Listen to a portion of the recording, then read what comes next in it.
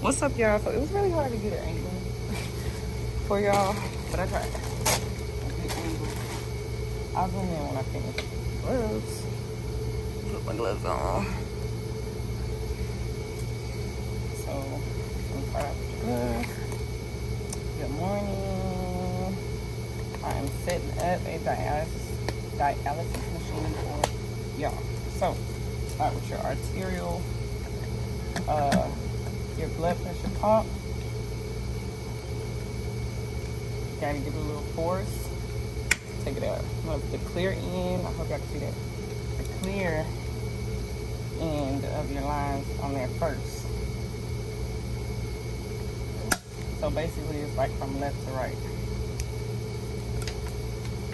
Then you wanna hook your lines up to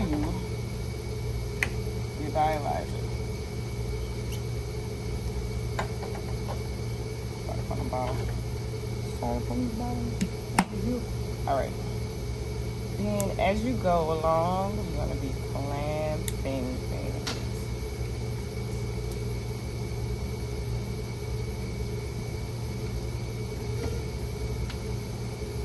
You're gonna be clamping. Every clamp except the saline clamp.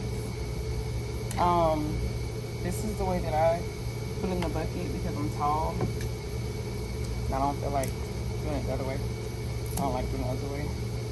Then you're gonna be taking off all these little tabs.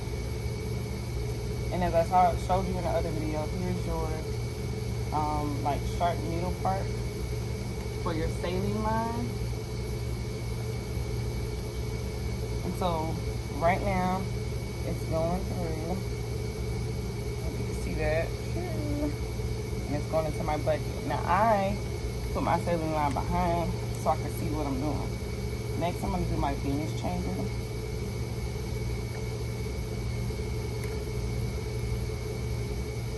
And remember, you want to clamp as you go. That way you don't forget and leave something open. Now I'm gonna connect my venous chamber my my venous uh, line to my dialyzer. And I'm gonna put this. Oh, and the big clamps. You don't clamp all little clamps except the saline line, and you leave the big clamps open until they have primed. So, for instance, like my arterial is primed, so I'm gonna clamp it.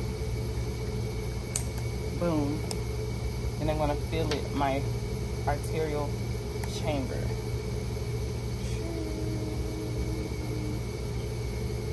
I like my sound effects.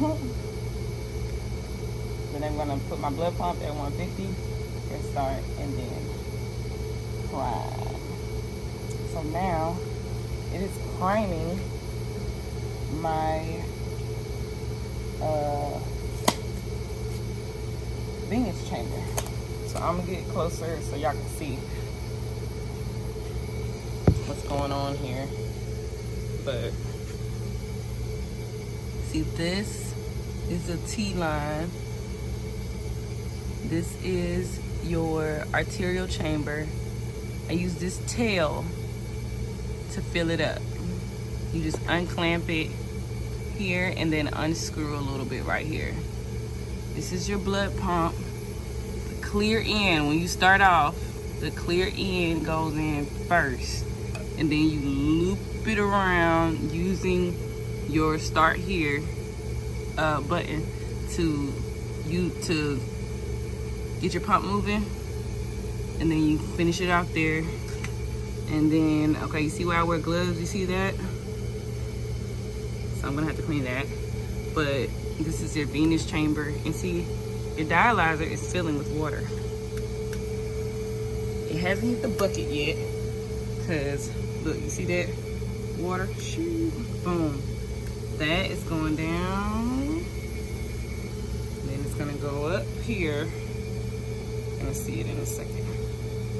Oh, no, not gonna go up. It's gonna go out. See that? So, another indicator when you're priming, if you look up and your saline bag is not draining, then you are not priming, okay? So I hope this video was a little bit better. Um, I can break it down real quick. But my dialyzer is clean because I just opened it out of the pack. But here, you see at the bottom of my dialyzer, well this is actually the top, but this is the way I start. I do it with the bottom facing down. This is the way that most people start, or the way trained to do it with the bottom down. But you wanna make sure these are screwed in good and tight because these these little tiny little fibers on the inside are getting wet. So, and it's still, oh, so it's done. My prime button is off, it's done, but I'm not gonna touch this machine because I see this 30. But that is it for, um, for that. What's up, what's up y'all, good morning. So I just did a, um, a quick recap, review, maybe a better version of um, how to string your machine. Um, I hope that this helps you guys.